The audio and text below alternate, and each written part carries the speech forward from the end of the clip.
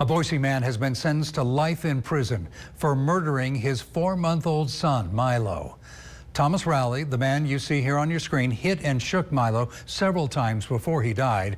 Rowley then waited four hours before calling 911 to get help for his son.